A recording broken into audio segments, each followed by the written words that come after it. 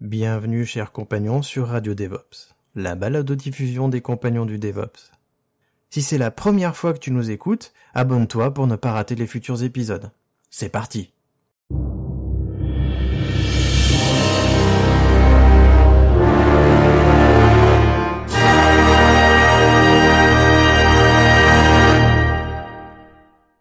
Comment apprendre le DevOps? Tout le monde veut devenir DevOps. Tous les recruteurs n'ont que ce mot à la bouche. Sur LinkedIn, on n'arrête pas de voir des, des, annonces de recherche de DevOps. C'est en train de chambouler l'informatique. Alors, aujourd'hui, je vais répondre à une question d'Abdou. Euh, je remercie Abdou pour sa question, c'est comment apprendre le DevOps. Donc, déjà, pourquoi est-ce que euh, on veut apprendre le DevOps? Le DevOps, c'est une assurance pour les, pour les administrateurs système que nous sommes d'avoir un bon salaire. En fait, on fait plus les mêmes choses et on le fait plus de la même manière. Mais si on n'est pas salarié, c'est aussi euh, pour les freelances comme moi une manière de ne pas rechercher ses clients parce que on est dans un moment où il y a tellement peu de compétences que les clients et les prospects viennent à nous. Et on n'a qu'à trouver la bonne personne, le bon client ou la bonne entreprise qui nous correspond. On est vraiment un moment charnière où le monde de l'infrastructure va changer. Surtout en France on n'a vraiment pas encore passé le pas. C'est plus le cas aux États-Unis, mais ici, en France, le mouvement, il n'a pas encore percé. Il, est en cours, et c'est vraiment le bon moment. Et c'est plus qu'un buzzword, hein. ceux qui pensent que c'est qu'un buzzword, euh, je pense qu'ils connaissent pas vraiment euh, le DevOps. Mais on peut pas leur en vouloir, parce que vu comment c'est présenté sur euh, les réseaux sociaux, sur LinkedIn, on, peut se poser la question de mais c'est quoi DevOps, c'est quoi être un ingénieur DevOps? Et hum, comment est-ce qu'on le devient? La première chose à faire pour toi qui veux apprendre le DevOps, c'est te démarquer. Te démarquer de tous les gens qui pensent que le DevOps c'est un poste ou un métier. Te démarquer parce que le DevOps c'est pas juste des outils. C'est plus que ça. Il faut que tu te forges un état d'esprit, il faut que tu vraiment que tu prennes pour toi l'état d'esprit du DevOps tel que je le prône. Cet état d'esprit va t'aider à progresser plus vite et à avoir un recul plus important sur ton métier. Il faut vraiment que tu apprennes des autres. Cet état d'esprit, il doit être un état d'esprit de constant apprentissage et constante amélioration pour toi. L'apprentissage continu, c'est vraiment très important pour nous. Donc, si t'es Ops, Va voir les devs. Apprends d'eux. Discute avec eux. Intéresse-toi à leur métier. Qu'est-ce qu'ils font? Si t'es dev, bah, apprends des ops. Va les voir, tu verras, ils seront super contents de t'expliquer leur métier.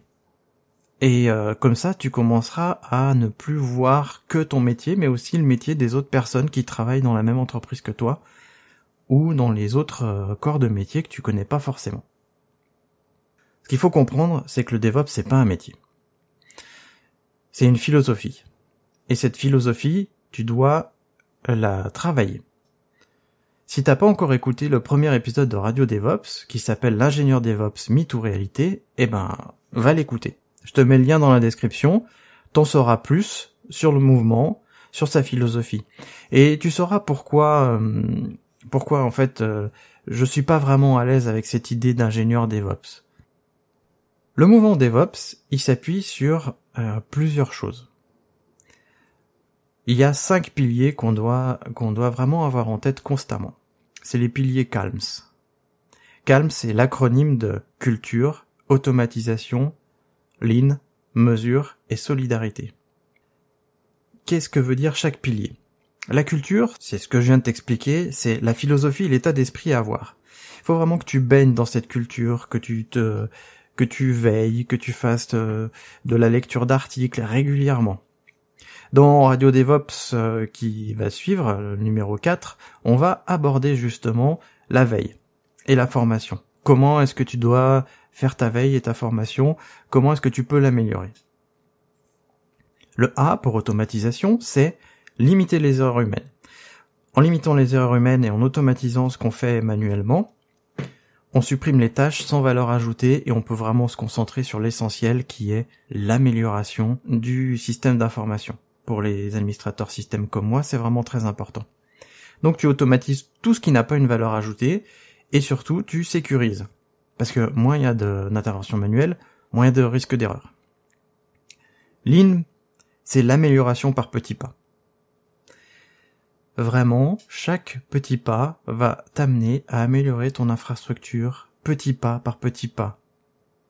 Et comme tu automatises, tu améliores ton automatisation. C'est une méthode qui est dérivée du Kaizen. Ensuite, la mesure. Parce que si tu automatises, c'est que si tu améliores, il faut mesurer tes améliorations.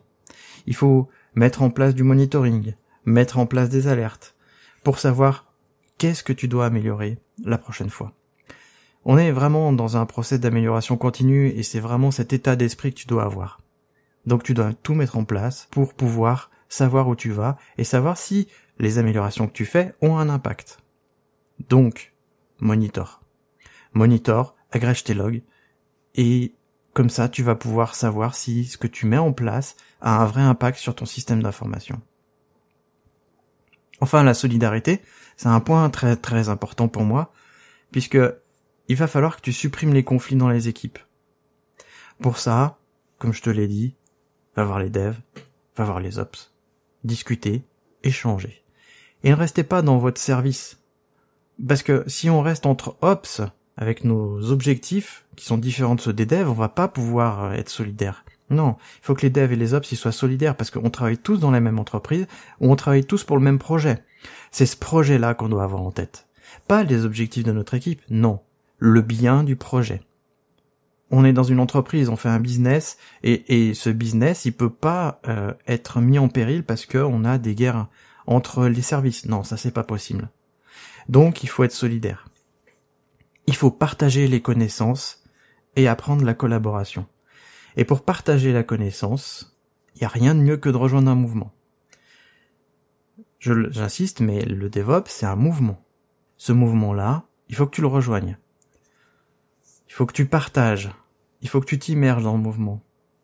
Et pour ça, j'ai créé les compagnons du DevOps. C'est une communauté en ligne sur laquelle on peut discuter entre nous et entre personnes euh, qui avons pour objectif de s'imprégner du mouvement.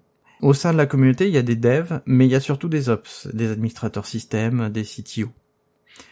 Et on est plus de 400 aujourd'hui, donc rejoins-nous, rejoins une communauté d'experts. Tu pourras discuter avec les autres et tu pourras échanger.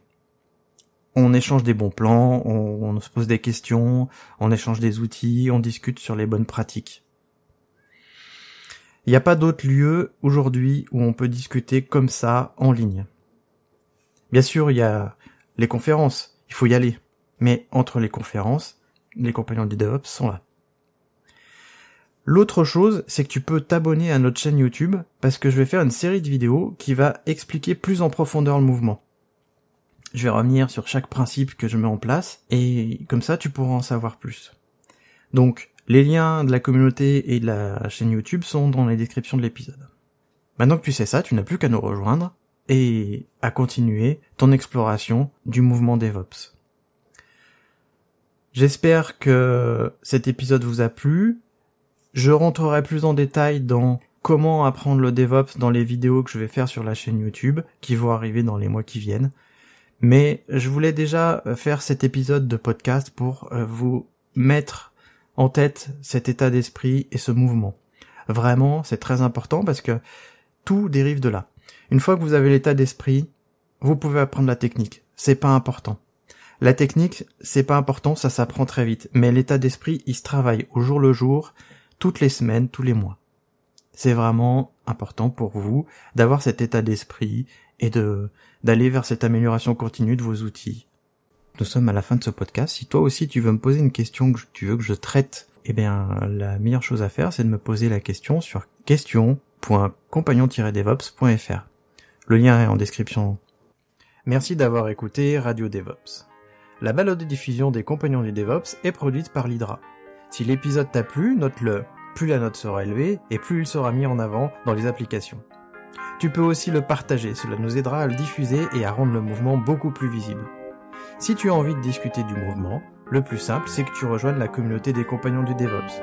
Le lien est en description. À bientôt.